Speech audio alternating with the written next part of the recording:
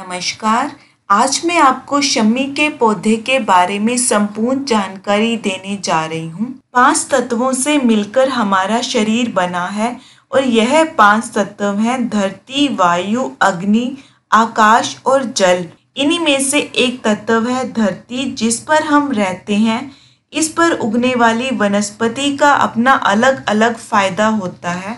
धरती पर उगने वाले पेड़ पौधे जितने हमारी ज़िंदगी के लिए ज़रूरी हैं, उतना ही ग्रह नक्षत्रों के प्रभाव को कम करने के लिए भी ज़रूरी हैं। ऐसा ही एक पौधा है शमी का पौधा। सबसे पहले इसके लाभ और महत्व के बारे में बात कर लेते हैं। शमी के पौधे पर कई देवताओं का वास होता है। इससे भगवान शिव प्रसन्न होते हैं। शनि की साढ़े सती और बुरे प्रभावों को दूर कर शनि देव की कृपा का पात्र बनता है। साथ ही श्री गणेश को भी यह बहुत प्रिय है। यही वजह है कि समस्त यज्ञों में शम्मी के वृक्ष की समिधाओं का प्रयोग अत्यंत शुभ माना गया है। शम्मी के कांटों का प्रयोग तंत्र मंत्र बाधा के और नकारात्मक शक्तियों के नाश के लिए होता है। तो वहीं शम्मी के पंचांग यानी फूल, पत्ते, जड़, टहनिया और रस का इस्तेमाल कर शनि संबंधी दोषों से जल्द मुक्ति पाई जा सकती है। शमी का पौधा घर के मुख्य द्वार पर लगाने से घर में किसी भी प्रकार की नकारात्मक ऊर्जा का प्रवेश नहीं होता। किसी भी काम पर जाने से पहले इसके दर्शन कर प्रणाम करना शुभ माना जाता है। इससे जिस भी काम के लिए जा रहे होते हैं, उसमें सफलता मिलती है और रोज़ाना दर्शन करने से दुर्घटनाएँ कम होती हैं और शरीर स्वस्थ रहता है। घर में शमी का पौधा लगाने से पैसों की कमी भी घर में नहीं होती, क्योंकि इससे माँ लक्ष्मी भी प्रसन्न होती है। शमी का पौधा घर के वास्तु दोष को दूर करता है और इसमें पापों को खत्म करने की शक्ति होती है। आयुर्वेदिक दृष्टि से तो यह अत्यंत गुणकारी औषधि मानी जाती है। कई रोगों में इस पौधे के अंग काम आते हैं।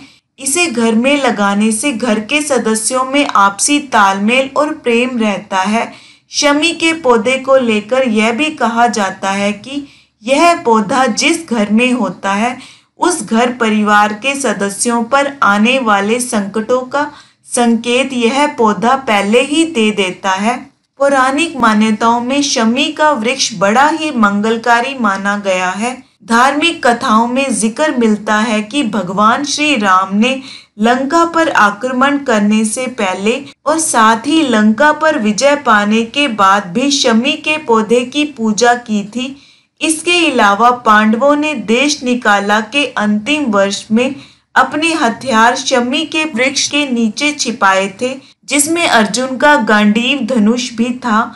कुरुक्षेत्र में कौरवों के साथ युद्ध के लिए जाने से पहले भी पांडवों ने शमी के वृक्ष की पूजा की थी और उससे शक्ति और विजय प्राप्ति की कामना की थी। तभी से यह माना जाने लगा है कि जो भी इसकी पूजा करता है, उसे शक्ति और विजय प्राप्त होती है। विजयदशमी यानी दशहरा के दिन शमी की पूजा का विशेष महत्व है।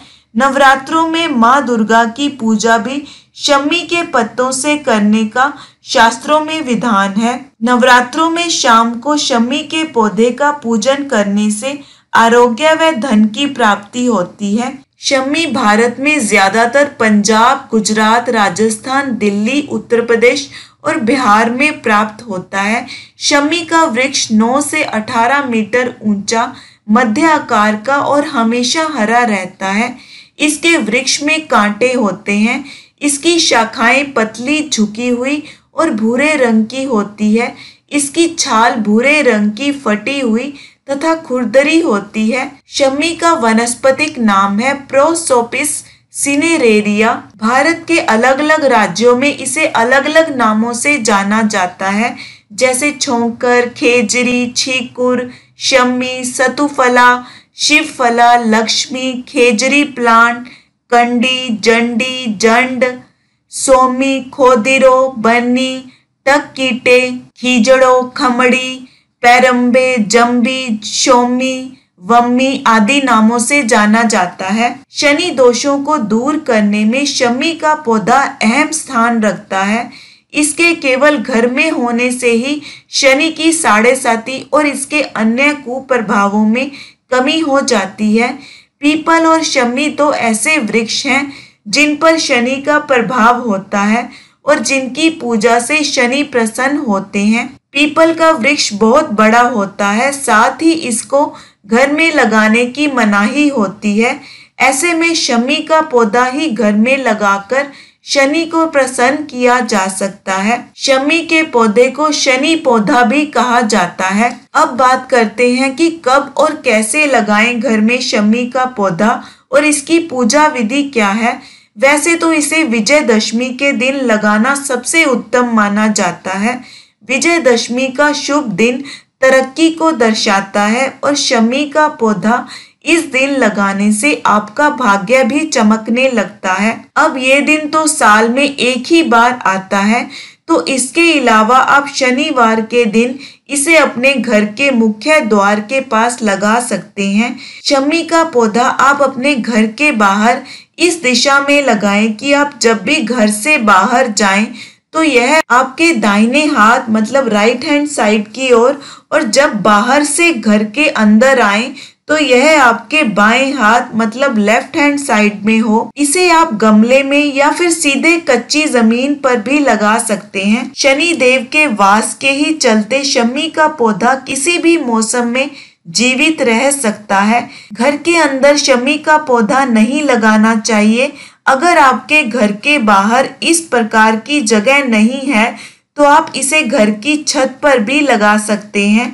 छत पर लगाएँ तो इसे उत्तर पूर्व दिशा में रखें, जहाँ इसे धूप भी अच्छी तरह से मिल सके। शमी का पौधा जहाँ लगाएँ, वो जगह साफ़ होनी चाहिए। नाली का पानी या कूड़ा कचरा ना हो वहाँ पर। शमी के पेड़ की पूजा होती है, इसलिए वहाँ कोई थूके ना, जूता चप्पल ना रखे, ना ही इसके ऊपर कपड़े सुखाएँ। शमी का पौधा लगाने के लिए साफ़ मिट्टी का प्रयोग करें।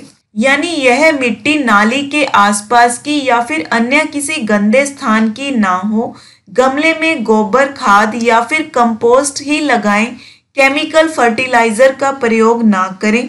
शनिवार के दिन सुबह जल्दी स्नान करके और साफ़ गमले में स्वच्छ स्थान पर साफ़ मिट्टी में शमी का पेड़ लगाएँगे तो आपके घर में कभी पैसे की कमी नहीं होगी। उपाय के तौर पर पौधे की जड़ में एक सुपारी और एक रुपए का सिक्का भी दबा दें। साथ ही पौधा लगाने के बाद उसमें थोड़ा गंगा जल भी डालें। पौधे में रोज़ाना पानी दें, यह मुरझाना नहीं चाहिए, पर इसे ज़्यादा पानी की ज़रूरत नहीं होती। पानी थोड़ा सा ही दें, लेकिन धूप बहुत चाहिए तो कोशिश करें कि ऐसी जगह रखें जहाँ काफ़ी अच्छी सनलाइट मिले। ज्योतिष कहता है कि इस पौधे की पत्तियाँ जितनी हरी होती हैं, जीवन में सुख समृद्धि भी उतनी ही बढ़ती है।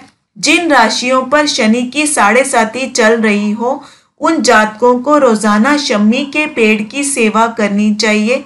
सुबह रोज़ाना शनि देव का मंत्र, ओम शंख शनिश्चराय नमः, या ओम प्राम प्रीम प्रोम सह शनिश्चराय नमः मंत्र बोलते हुए जल चढ़ाएँ। और शाम को घर के मंदिर में दीपक जलाने के बाद रोज़ाना शमी के पेड़ के पास भी एक सरसों के तेल का दीपक जलाएँ। अगर आप मिट्टी के दिए का प्रयोग करते हैं तो शनिदेव इससे अधिक प्रसन्न होते हैं। शनिवार को पेड़ के सबसे निचले भाग में उड़द की काली दाल और काले तिल चढ़ाएँ। इस दिन गरीबों को इसका दान भी ज़रूर करें। इससे अगर आपके ऊपर शनि की साढ़े साथी चल रही है तो इसका दुष्प्रभाव कम होगा। वैसे तो शमी की पूजा नियमित रूप से करनी चाहिए, लेकिन अगर किसी कारणवश आप रोज पूजा नहीं कर पाते तो शनिवार के दिन शमी के नीचे दीपक ज़रूर जलाएँ। शमी की पूजा करने के बाद एक मंत्र बताती हूँ, या तो इस मंत्र को बोलें या इसके अर्थ को ज़रूर बोलें। ये मंत्र है शम्मी शमयते पापम शम्मी, शत्रु विनाशिनी अर्जुन से धनुर्धारी राम से प्रिय दर्शिनी करिशय मान यात्राया यथा कालम सुखम मया, तत्र निर्विघ्न कर्तृत्वम भव श्री राम पूजिता। अर्थात, हे शम्मी, आप पापों का क्षय करने वाले और दुश्मनों को पराजित करने वाले हैं। आप अर्जुन का धनुष धारण करने वाले हैं और श्री राम को प्रिय हैं। जिस तरह श्री राम ने आपकी पूजा की, मैं भी करता हूँ या करती हूँ, मेरी विजय के रास्ते में आने वाली सभी बाधाओं को दूर कर उसे सुखमय बना दीजिए। भगवान शिव जी और गणेश जी को भी ये पौधा बहुत प्रिय है। कहते हैं कि हज़ार धतूरों से भी ज़्यादा एक शम्मी का फूल शुभ और पुण्य देने वाला होता है। इसलिए भगवान भोलेनाथ को प्रसन्न करने के लिए एक शम्मी का पुष्प चढ़ाएँ, क्योंकि यह फूल शुभ और पुण्य देने वाला होता है। रोज़ाना की पूजा में अगर आप शिव जी को जल चढ़ाते हैं तो उसमें शम्मी का पुष्प भी डालें। यदि पौधा छोटा और उसमें पुष्प नहीं है तो आप शमी के पत्ते भी चढ़ा सकते हैं। जल चढ़ाने के बाद शिव जी को चावल, बिलपत्र, सफ़ेद वस्त्र, जनेऊ और मिठाई के साथ ही शमी के पत्ते भी चढ़ाएँ। शमी के पत्ते चढ़ाते समय ये मंत्र बोले। अमंगला नान, च शमनीन शमनीन, दुष्कृत स, च, दोह स्वपरा, नाशिनीन धन्यान प्रपधयहन शमीन शुभाम। शमी पत्र चढ़ाने के बाद शिव जी की धूप दीप कपूर से आरती करें। गणेश जी की पूजा में भी इसकी पत्तियाँ चढ़ाई जाती हैं।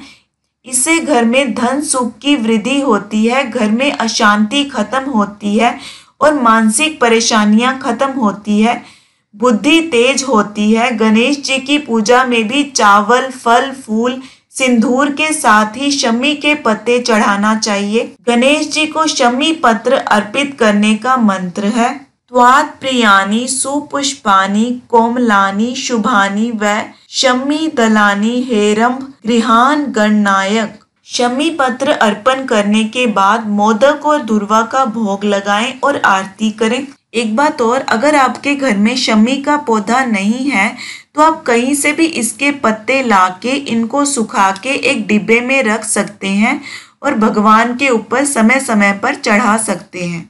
अब मैं आपको शमी के पौधे के कुछ उपाय बताती हूँ। ज्योतिष शास्त्र के मुताबिक शनि के प्रकोप के चलते कई बार एक्सीडेंट्स या फिर सेहत संबंधी परेशानियाँ भी लगी ही रहती हैं। यदि किसी के साथ यह दिक्कतें हों तो वह शमी की लकड़ी का प्रयोग कर सकते हैं। इसके लिए किसी भी शनिवार को शमी के पौधे से थोड़ी सी लकड़ी तोड़कर काले धागे में लपेटकर गले या बाजू में धारण कर लें। साथ ही मन ही मन शनि देव से जाने अनजाने में हुई अपनी गलतियों के लिए माफ़ी मांगे और उनसे प्रार्थना करें कि अपनी कृपा दृष्टि बनाए रखें। इसके अलावा शनि की शांति के लिए आप शमी की लकड़ी पर काले तिल से पूजन हवन भी कर सकते हैं। इससे भी शनिदेव प्रसन्न होते हैं। अगर आपको किसी तरह का रोग है और वो ठीक नहीं हो रहा है तो शनिवार शाम के समय शमी के पौधे के गमले में पत्थर या किसी धातु का छोटा सा शिवलिंग स्थापित करें। शिवलिंग पर दूध चढ़ाएँ और विधि विधान से पूजा करें। इसके बाद महामृत्युंजय मंत्र का जाप करें। ऐसा करने से घर के किसी भी व्यक्ति को लगा रोग दूर हो जाएगा।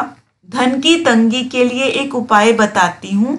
सोमवार को शमी के पौधे में एक लाल मोली बांधे। इसे रात भर बंधे रहने दे। अगले दिन सुबह वह मोली खोलकर एक चांदी की डिबिया या ताबीज में भरकर तिजोरी में रखें। कभी धन की तंगी नहीं होगी।